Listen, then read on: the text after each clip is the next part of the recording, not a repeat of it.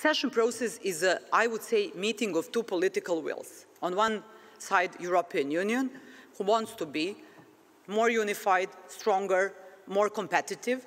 On the other hand, for the countries from the region of so-called Western Balkan. Even I'm very skeptical about the uh, term of Western Balkan because I always wondered where is the Southern Balkan because it's part of European Union. Eastern Balkan is also part of the European Union. So uh, we from the Western Balkan that should be geographically uh, in a way uh, closer to European Union, we are actually uh, the only one from the, the, rest of the Balkan not being part of the European Union.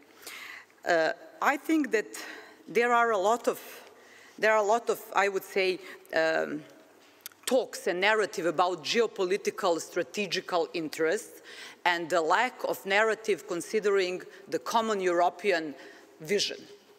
Because if we only talk about geopolitical ideas and geopolitical goals, or in strategical goals, then we have to identify what is strategical goal. If you need uh, some kind of, uh, uh, I would say, instruments uh, and logistic for, uh, uh, in order to reach your strategical goal, you need at least a lot of attention to the subject you want or you consider as a strategic goal. You need financial resources and you need, of course, a clear plan. So uh, sometimes uh, I'm not very happy to listen all the time about ge geopolitical goals because then I don't see a whole of, I would say, logistical needs that you have to, uh, to provide.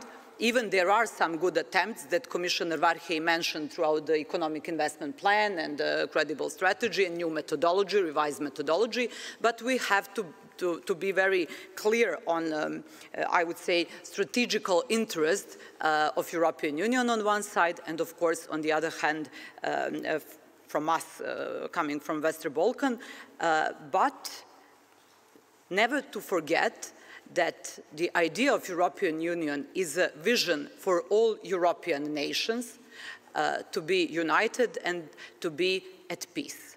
When I say united, I'm not like a federalist, uh, I'm not providing any kind of support for federalistic approach, uh, not for some kind of nationalistic approach. I only see that the future of uh, EU, um, EU uh, nations and countries uh, is in, in their natural borders, and I think that is also including Western Balkan as well.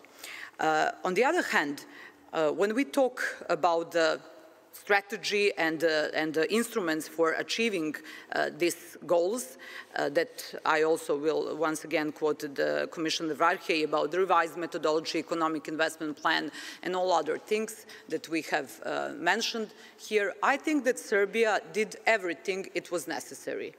Uh, we accepted new revised methodology, immediately. We didn't know what will be the content of the uh, new methodology, but we have shown uh, trust uh, in good intentions and the best intentions of European Union and member states to provide more credible, more predictable uh, process which will be uh, easier to understand for on one hand our people, our public opinion, on the other hand to give us clear path uh, how we can improve and make it faster our process if we deliver on our obligations.